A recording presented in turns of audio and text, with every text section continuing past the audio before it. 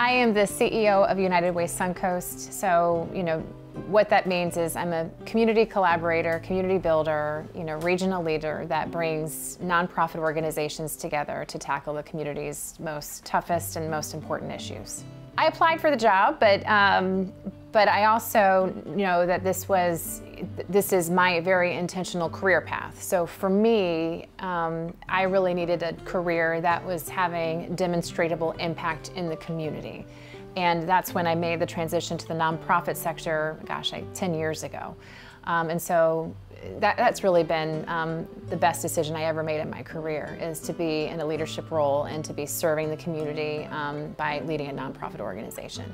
You know, to me, um, you know, it's, it's, it's more than just having a job, right? So in order for our I just believe in my heart of hearts that in order for our community to be successful, we need a healthy and thriving community for all.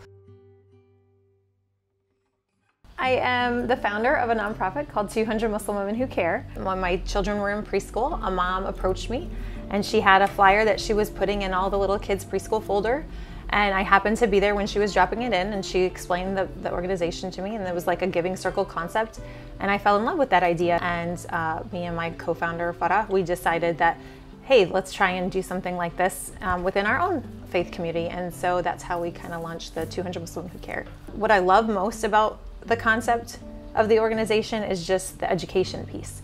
It's like if you didn't know what was happening, you know, we're not always aware about what's happening within our community. And um, everyone's lives are so busy, but this is just get, gets you an opportunity like four times a year to be able to say, hey, these are the struggling, you know, people within my neighborhood and make, how can I help them? How can I do my little part to make a difference? Mm-hmm. And so as a mom, when you volunteer, you meet other moms. And it's funny how the connection happens of other moms who are dedicated to service. That became my core group of 200 Muslim Who Care members. It was those 50 women that I met through my children's school that were giving the time, even though they worked, even though they had kids and families and responsibilities at home. Every once in a while, we would all pitch in and do our part for this small um, little Islamic school that our kids all went to. And we felt we were connected in that way. I accidentally found this. I, as I said, I wasn't going to get married. I was very career driven in my life. And when I sold my advertising agency, I was kind of wandering around trying to decide what I wanted to be when I grew up. And a friend of mine who was part of this nonprofit, she was a volunteer, she came to me and said, um, come to come help this little nonprofit develop a marketing plan because they need help. Nobody knows about them. So I said, okay. So I came in and we did made a plan. And then the the then CEO said to me at the time, she said, uh, "We love all of this. We're going to do all of this. So we're going to hire somebody."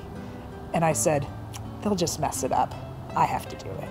So I came in as the director of development there and uh, established a marketing plan and grew it, and then um, several years later, I became the CEO there. I have so much faith now in intergenerational components of living that mm-hmm. people need people of different ages, diversity. It's a completely different lens now that I have on, on what people need to to feel supported and to feel like they can grow and feel like part of something. I have, I have kind of a big staff. I have 30 employees. We have over 900 volunteers. About 250 of them serve at least 15 hours per week. They're such an inspiration to me, such an inspiration. They just keep showing up for the kids and even kids that are that are, you know, really struggling and just being that person that's there for them and how the kids love them just for showing up for them, just for being there. I am the first female fire chief for the city of Tampa, so Tampa Fire Rescue. I have the entire city to be responsible for from emergency management point, and I definitely want to do the best I can to protect the citizens and the community.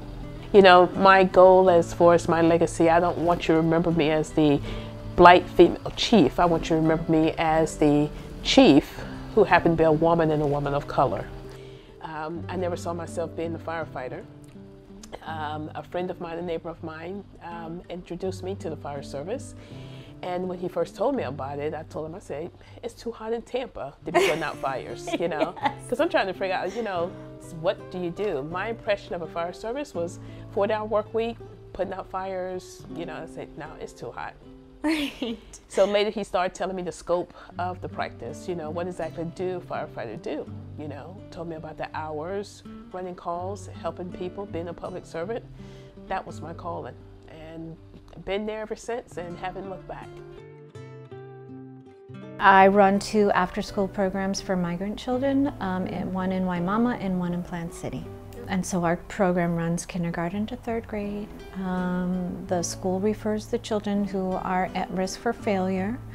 Um, and so they get referred to us and they can start in kindergarten and go as far as third grade and then we'll get, you know, the families who are there have continuity of care and so you know, if they have a younger child, then the younger child comes to us. So we've had some of the same families for five years. So one of the things that um, our program was a pilot program five years ago. And one of the things that the um, people who knew these communities said to us coming in, um, you will have a very hard time engaging these families. They are very hard to engage. Um, and uh, that is not what we found at all.